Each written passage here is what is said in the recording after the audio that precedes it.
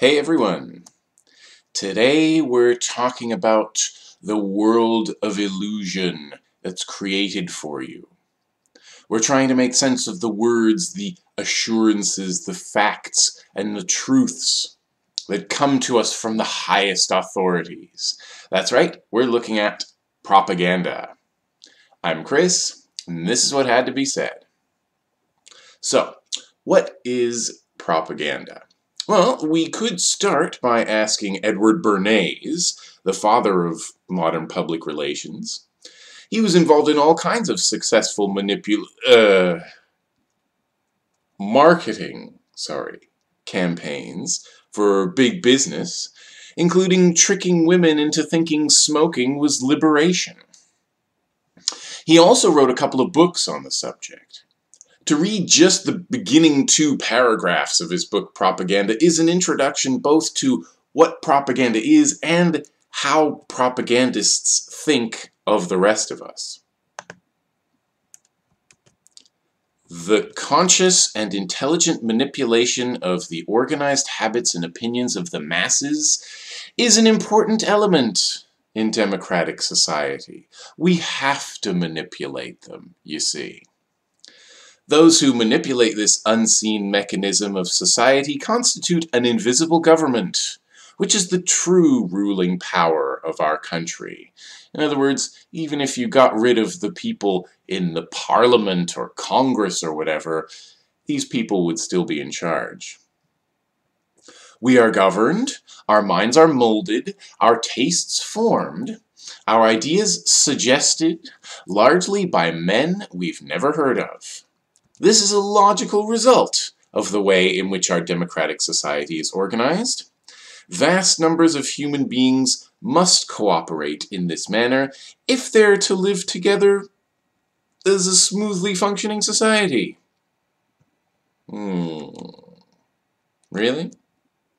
Of course, Bernays was an elitist, thinking it was a good thing that he and a few other people held the reins. Bernays worked on the Creel Committee for Public Information, the biggest PR campaign in history up to that point. The Creel Committee was the propaganda machine that sold Americans on supporting U.S. intervention in World War I. It took about six months, maybe less, to turn the pacifist isolationist masses into salivating war-hungry brutes so you can learn from his books and his actions. Or Walter Lippmann, who also showed a lot of contempt for these people. Or you could read Noam Chomsky on the subject of propaganda. For instance, in the book Manufacturing Consent, where he and Edward S. Herman show you how to think critically about the news. And the more you learn about how power actually works, the easier it is to understand what propaganda is. Propaganda is all part of the exercise of power. Bernays and the rest of the technocrats he worked with and, and influenced who came after him saw most people as intellectually and morally inferior. Their published works are full of contempt for, for what they saw as the confused, sheep-like masses. I don't know what they really thought, of course, but their arguments seemed to be that that uh, people are just too ignorant to make their own decisions. That begs the question. I mean, people are ignorant, so they can't be trusted, so we have to keep them ignorant? It's not a logical proposition. But it's the attitude of propagandists and their employers in a nutshell. If we weren't indoctrinated into a world of illusion our whole lives, and instead learn to think for ourselves, we might be able to decide for ourselves. Propaganda is the words, beliefs, and assumptions the ruling class transmits to the rest of us to justify everything it does. It underpins everything we learn in school and in the mass media and to most of us, everything we say and believe. The term could perhaps be used retroactively to refer to any lies and myths perpetuated by the ruling class at any time since the dawn of states, though um, that might not be a very accurate use of the word. Propaganda is not what I'm doing here, either. I'm spreading a perspective, true, but usually when we talk about propaganda, we mean not just any ideology, but the dominant one. Not the possible, but the normal all rulers of hierarchical societies had ideological bases for their rule, excuses, if you will, and that became the truth. In some times and places, it was normal, obvious, unquestioned, that we should kill girls to make the gods happy, to make the crops grow. Today, it's normal and unquestioned to think letting a few, few really rich people make all the most important decisions and impose them on the rest of us is the ideal way to organize society. I think of propaganda as a scripted reality that surrounds us and penetrates our thoughts. Plato described it using the allegory of the cave, although I don't think he was talking about propaganda exactly. A more updated metaphor that we could use for our purposes might be to imagine propaganda as a jail cell. And you're there for life, unless you can find a way to escape. But unlike a normal jail cell, you were born into this one. So you don't even realize it's a cell. Because you have no other sense of reality to base your thinking on, you accept whatever the prison guards tell you about yourself, about themselves, and what they're supposed to do, the nature of the prison, and the state of the world outside the prison. You can live there quite comfortably as long as you don't look at the bars. You might even train yourself never to look at the bars to respect and appreciate your jailers for all the food they bring you, and get angry at anyone who suggests escaping. That's your brain protecting itself from uncomfortable new ideas. So propaganda is not necessarily about lies. Politicians lie, but often that's just to cover themselves and create their personal image. But the things they say don't deviate from the propaganda, the grand illusion of the normal. No politician who hopes to last long would suggest questioning the whole system, or even just questioning the existence of one unpopular agency, like ICE or the NSA. The state has to justify everything it does, and will claim those agencies are necessary and impossible to abolish. Or they'll they'll make some huge gesture by abolishing it, but just giving all the powers to other agencies. Then you got news media. News media lie, sure, but not that much. Their lies aren't the most dangerous thing they do. What the news media do is they pose as watchdogs, informing us of what's important when what they really do is just add to the grand illusion. They tell us what we should think is important, and then they make us think we chose our own values. I mean, if they wanted to tell us what was important, journalists would be investigating the deals that are being brokered at the highest levels among rich people. They'd be telling us about the closed-door meetings between government and the wealthy. Instead, the news tells us a few things that are happening and how we're supposed to feel about them, followed by sports, weather, the internal drama of the British royal family, celebrity gossip, and Donald Trump's Twitter account and they're punctuated by messages from corporate sponsors. And those commercials, by the way, are also integral to forming our beliefs of the normal. There are some questions you can you can always ask if you really do want to watch the news or read the newspaper. How do they decide which news events to cover? There are millions of things going on in the world. Why is this medium telling me about this event? What are they not telling us about this event? What else is going on in the world that might be more important? Because what the news media talk about is what informed people think is important. And certainly propaganda can be directed toward the supposed foreign enemy. But the real enemy, the real threat to their rule, is their local domestic population. If those people stop buying into the propaganda, the illusion crumbles, and with it the power of the people on top. Because we're allowed some freedom of thought, there are also so-called alternative media you can learn from. They often talk about topics the mainstream media won't cover, or the same topics from a different angle. But they aren't necessarily more true or less biased. So just like everything else, just like everything I say, you can think critically about them. Where do they get their funding? What are their biases? What are they not saying and why? When we learn how propaganda works, we can come to see media words like democracy and freedom as hollow. Why do we need to be told all the time, this is what it means to be free? This is what democracy looks like. This is what a worthy victim looks like. And that's what an evil dictator looks like. I think we should also bear in mind that books are not necessarily more authoritative or unbiased than news media.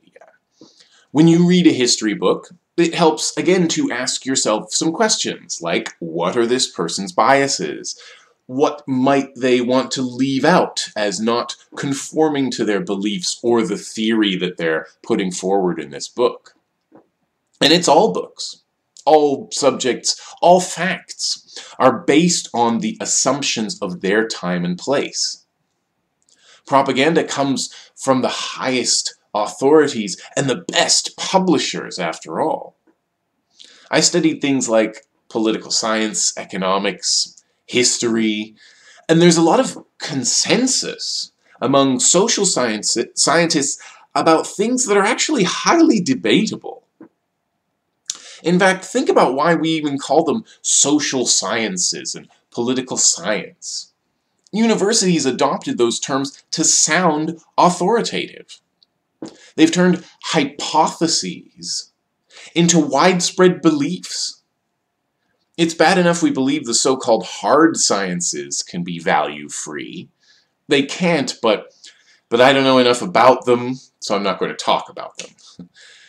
But some of us are, are led to believe even the social sciences are based on fact as opposed to guesswork and ideology.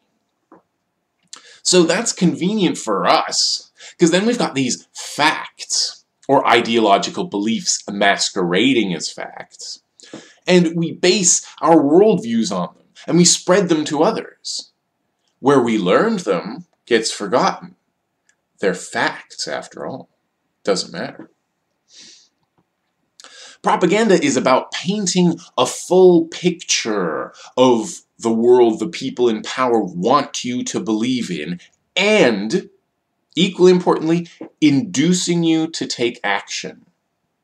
If propaganda works as it's supposed to, people will do exactly what the ruling class wants them to do, and they'll think it was their own idea.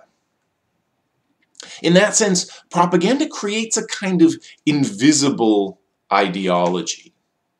After all, it's based on a set of beliefs, and highly questionable ones at that.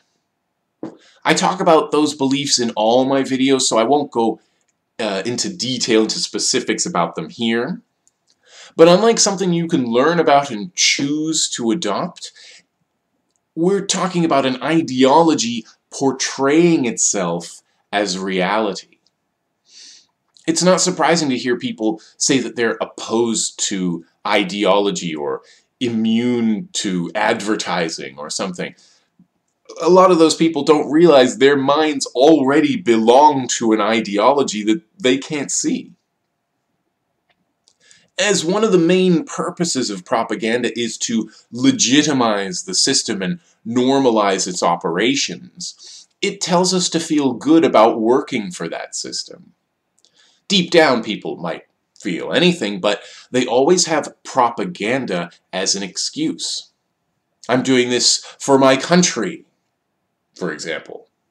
Just like during the Crusades, they said they were doing it for God. And it's not much different, since people will sign up to kill people on the other side of the world for my country, or, or for my God, or for freedom, whatever they have to tell themselves to sleep at night.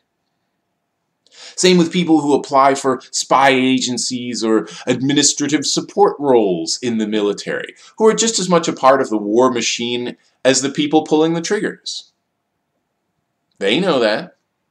They have to sleep at night too. Our cultural assumptions appear as universal truths when nearly everyone you know takes them for granted. So they accept the excuses that these wars are to stop terrorism and spread freedom. No questioning, no reason to question, because it's normal. As such, the hardest people to reach, the people least likely to want to listen to a new perspective, to question and to change, are the people who most rely on the system. So, rich people or people who believe they might be rich one day. Good luck. People who work for the state or who have a chosen political party that they, they labor under. Anyone whose salary or worldview depends on maintaining the illusion. That's a lot of people. But most people are ultimately capable of understanding things differently and questioning what they've been told. That's what the fight scene in the movie They Live is all about. It takes a lot of effort, a lot of time, that's a long scene, to get someone to see things differently. I won't get into school today because I've made a whole series on school you can check out. You could say our indoctrination begins in school, and you'd be close to correct because that's where we're trained to obey authority and accept its version of the world. But actually, our indoctrination starts as soon as we start learning about the world around us. Our parents and families teach us normal. They learned normal and then passed it on to us. In that way, the system sustains and recreates itself. Propaganda makes us all carriers of the same virus. So not all propaganda comes from official sources. In fact, being the skeptics we believe we are, if something comes from official sources like the state or the church, we take it with a grain of salt. That's why we have such a big anti-vax movement going on right now. Experts and the state want you to vaccinate, so being such skeptics, we're going to say, we're not going to vaccinate. Try being a little more skeptical, if that's your position. But when everyone uses the same words with the same assumptions behind them, like calling a very unequal society a democracy, or saying the police serve and protect the people, they're creating the normal. People seem to think propaganda only comes from sources they dislike. Republicans call CNN and universities the, the sources of propaganda. Democrats blame Fox News and evangelical churches. They don't get that it's all those institutions and more. All hierarchical social institutions communicate propaganda. It's presented as truth in institutions of learning. It's presented as fact in the news. It's in the words of politicians and business spokespeople and diplomats and professors and military recruiters and so on. Everyone in authority takes part in the charade. They need to conform to the propaganda in word and deed, whether or not they see through it. They're not trying to convince you. They're just adding to the tapestry of how you're supposed to see the world, putting up posters in your jail cell for you. The existence of propaganda is the reason we don't need far-out speculation about the purposes of fluoride in the drinking water, or if there are subliminal messages, or the purposes of chemtrails to brainwash us, or some other kind of government mind control. The fact is, we're susceptible to the everyday mind control of propaganda, especially domesticated humans like us. It's not a bunch of conspiracies that you need to debunk. It's one conspiracy that we're all in on. It's everyone who talks about politics, the news, facts, statistics, history, or any other representation of reality without acknowledging that it's all based on illusion, or on a shared hallucination, as Howard Bloom said. Hierarchical, society requires violence to, to maintain itself. And the more inequality there is, the more violence there's going to be. But it also requires propaganda. Because even the threat of extreme violence is not necessarily enough to stop a popular uprising. But if you can convince enough of your population elite rule and inequality and war and prison are justified, your revolution is a lot harder to carry out. Each hierarchical society has used propaganda to divide people into classes. It's part of divide and conquer. Propaganda always accompanies policy, or maybe even precedes it, so that people even demand a policy that's against their interest because they've been induced, they've been tricked. For example, a united working class could form a, a powerful political movement that would shake up the status quo. So the propaganda keeps people divided by race and class.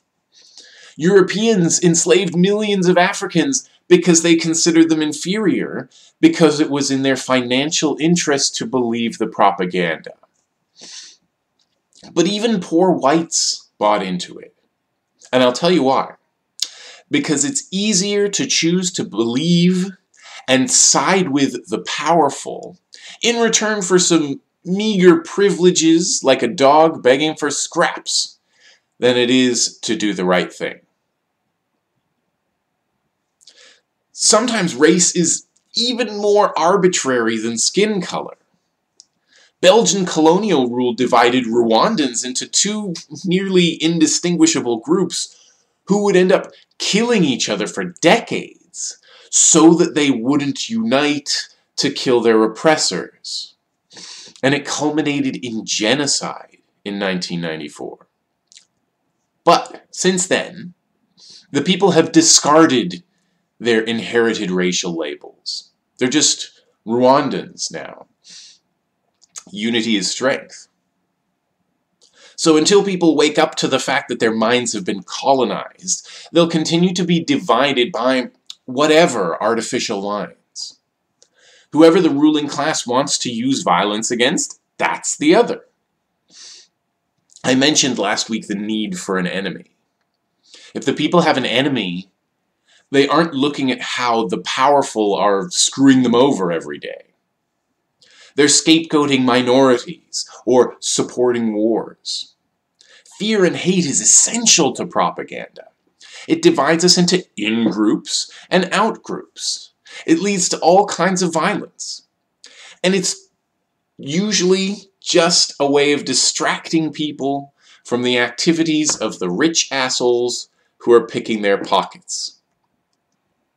In the book How Propaganda Works, Jason Stanley writes, In a society that's unjust, due to unjust distinctions between persons, ways of rationalizing undeserved privilege become ossified into rigid and unchangeable belief. These beliefs are the barriers to rational thought and empathy that propaganda exploits.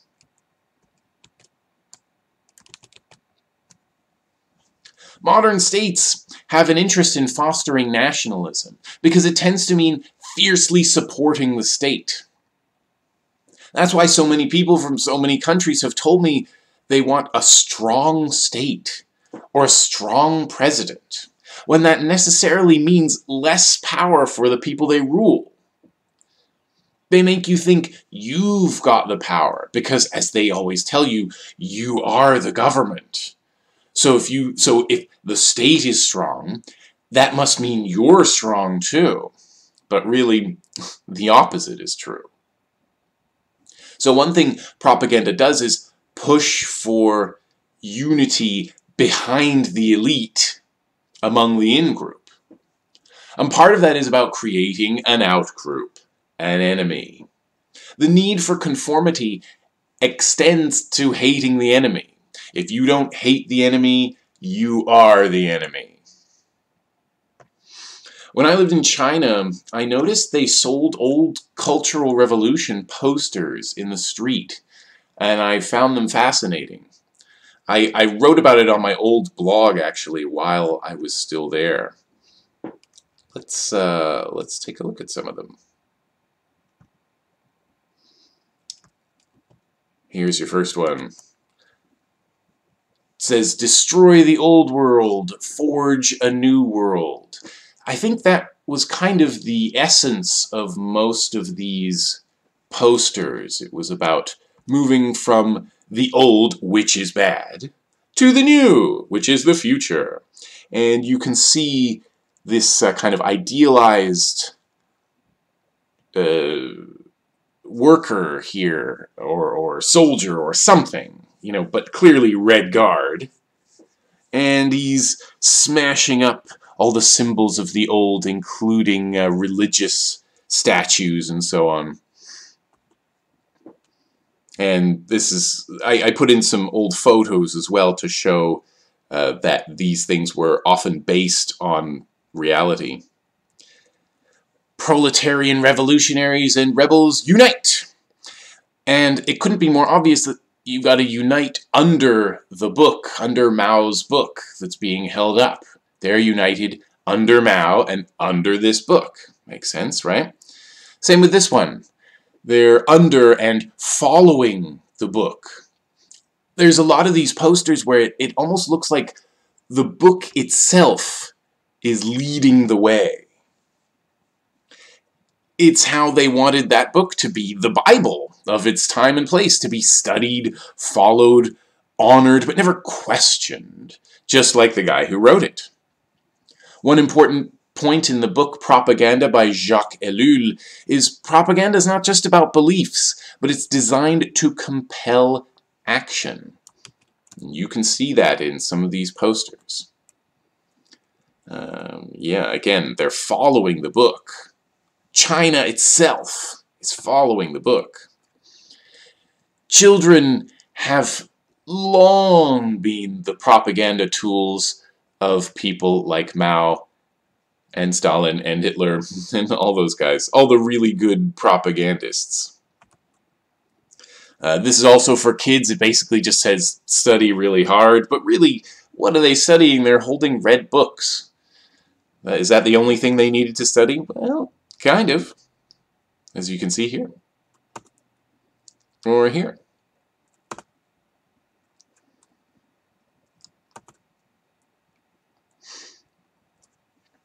Uh, this poster says that if if you join the People's Liberation Army, you're basically engaging in um, Mao Zedong thought. That that's what you're, you know, that's what you're supposed to do. Of course you should join the army. Here the various armed forces says the people's military is invincible. Stand your ground. Uh, still more militarism, basically resolutely annihilate all enemies who dare invade our country. And of course, you know, it, it's legitimate in the sense that there was a fear that they might be invaded by the, the capitalists, the imperialist powers. So it makes sense. It's just an interesting pra uh, uh, practice in propaganda to me. The great proletarian revolution unites workers, farmers, and soldiers and will for sure liberate Taiwan. um, unity of the diverse people of China is a common theme in these posters. That really makes sense because China has always been an empire with restive native populations in its various corners. Pushing unity has always been an important aspect of Han nationalism.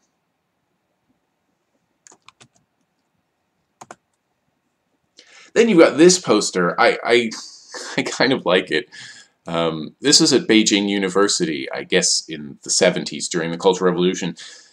The animosity displayed during the Cultural Revolution wasn't only directed at internal bourgeois enemies, but also at external ones. Um, I saw a poster reading, it wasn't actually this one, it was a different one. It says, destroy the Soviet Union. Um, the one I saw actually read destroy, or maybe smash, the Soviet Union on the left and destroy imperialist America on the right. I find that an interesting tale of nationalism and enemies. Um, for a while, America, or the US, was the enemy. Then it was the US and the USSR, which actually in this poster is, uh, is sort of called the revisionist Soviet Union rather than the, the, the word they used to use before that for the Soviet Union. They, it changed to like the revisionist union, basically. Um, but now, today, Chinese nationalism depends on Japan as the enemy. And that's because our enemies are whomever we're told to hate for whatever reasons. And once people acquire ideas like nationalism, they become truth. And they don't need propaganda to spread anymore. Though propaganda is always there helping them along. You don't need a law telling everyone to stand up for the national anthem if your parents are going to make you do it. You don't need a law banning flag burning when it's considered virtuous to beat up people who burn flags. You may have heard me make references to the book 1984 on this channel. It's my favorite book, so I'll do it a lot. Oceania represents the perfect indoctrinated society, where even thinking something unorthodox makes you a criminal. Like all good science fiction, 1984 is only an extrapolation. Uh, what could happen if things keep going in a certain direction? We're only slightly less indoctrinated than they are. Have you ever tried to disabuse someone of something they've believed in for a long time? Did you maybe feel like they were going to brand you a thought criminal? People get angry when you destroy their illusions. Even if they're illusions handed to them by someone else that don't benefit them. But then we're not living in 1984. Maybe they'll just ignore you. Oh, you're just a kooky conspiracy theorist. I don't know where you picked up these strange ideas, but they're different from what I've been told all my life, so they must be wrong. Either way, people defend the system and fight for myths, and think they're acting of their own accord. That's the power of propaganda. Jacques Ellul emphasizes that propaganda must be total, surrounding us, with no gaps to make uh, to make to, to let you make your own beliefs about something. That's why, as I said, propaganda is not so much about lies. It's a whole system of beliefs that may or may not have anything to do with reality. They're kept alive by the conscious effort of PR people and their bosses, and the unconscious learning and transmitting the rest of us do. Hardly anyone deviates from the narrow spectrum of acceptable beliefs. Certainly not on the news. So no one even considers things could be different. Donald Trump assassinates a foreign general. The news talks about the strategic value of such a strike, rather than more fundamental questions about whether anybody should have the, that power in the first place. We talk about the desirability of being ruled by one or another politician instead of asking why we're ruled by other people at all. We talk about getting jobs instead of the fact that we're forced to give up most of our time and freedom to make rich people richer. Indoctrinated people always stay within those acceptable limits. They might entertain other ideas, but dismiss them as unfeasible. Doesn't fit in with the way the world is at the moment. Couldn't work. In fact, I can often get people to agree with me about freedom, justice, and even the, the need for a revolution. But they'll still avoid talking or thinking about it in favor of endless discussion of pointless elections and issues they have no influence on. It's called cognitive dissonance. When you have conflicting beliefs, it's painful, especially when beliefs that you base your identity on, like nationalism, are threatened. As a result, we often reject the new, less comfortable information to ease the pain. But that's only if we notice the beliefs conflict. Some people can live their whole lives believing Americans only want peace and freedom for everyone, even though the state is constantly at war. Must be a war for peace. We're the good guys. Because modern systems of power center on the nation-state, so does propaganda. For one thing, the actions of the state are far more widely considered legitimate than the same actions taken by civilians. If I killed even just one person, I'd be vilified. Soldiers and cops do it all the time and get a paycheck for it. If I put people in a cage and don't let them out, no matter what those people did, I'd be a kidnapper.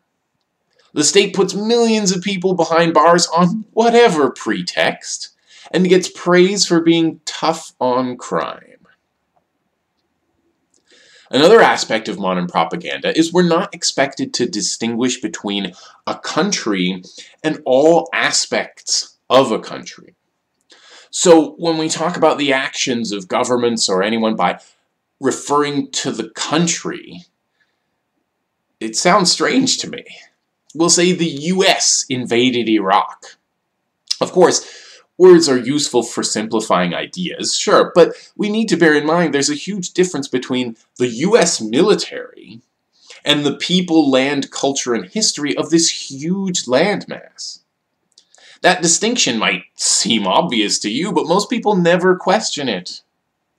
They say things like, well, that whole region had it coming. Or, they send terrorists after us, we retaliate propaganda has us writing off huge parts of the world and thinking we don't need to know any history about it because we heard about a couple of people from there who did something we didn't like. For most people, a few images is all they need to make decisions about whether they like and trust broad, poorly defined categories of people, or whether those are going to be unworthy victims.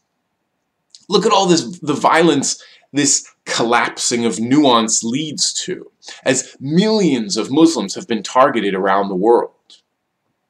It legitimizes war and racist violence. And why?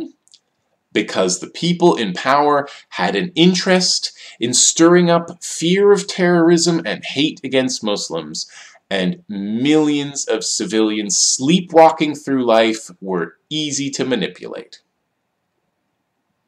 They were told to want revenge for 9-11, and they complied. Some of them still do. They so blindly wanted revenge. Some people signed up to kill people in Iraq because of 9-11. Why?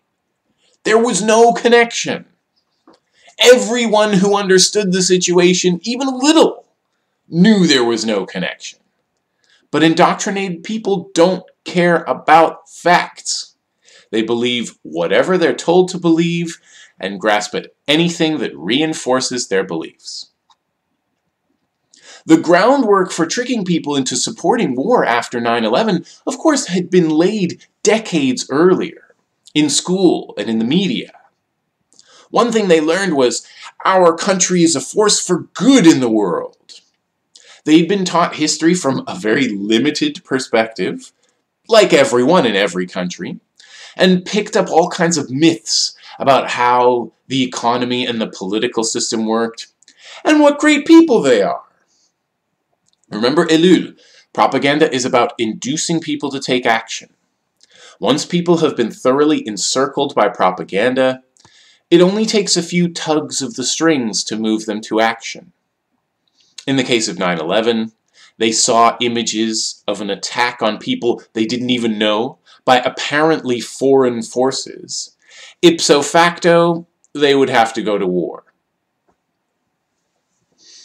So propaganda is very much a matter of life and death. Most people's minds belong to the propagandists, the PR people of the world. But you can save yours by learning to question things. You can save others by helping them see the jail cell for what it is. The truth is out there, but it won't be televised. Thanks everyone who actually got all the way to the end. Please like and comment and share and subscribe and so on. See you next week.